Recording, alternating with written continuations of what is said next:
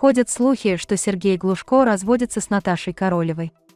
В последнее время слухи о разводе Наташи Королевой и Сергея Глушко, который выступает под творческим псевдонимом Тарзан, ходят все чаще. Нас разводят по несколько раз в год, еще что-то. «Слушайте, уж в семье, то мы придем к знаменателю, не волнуйтесь», процитировал Сергея Глушко, Пятый канал.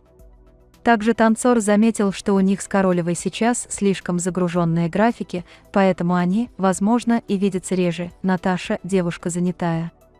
И у меня есть свой график, и у нее свой, вот и все.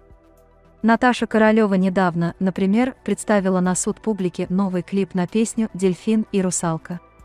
Свежая композиция имеет такое же название, как и хит звезды эстрады, который она некогда исполняла вместе с экс-супругом Игорем Николаевым, но текст и музыка на сей раз другие. К тому же Королева привлекла для нового дуэта своего сына Архипа Глушко, который решил строить карьеру на сцене.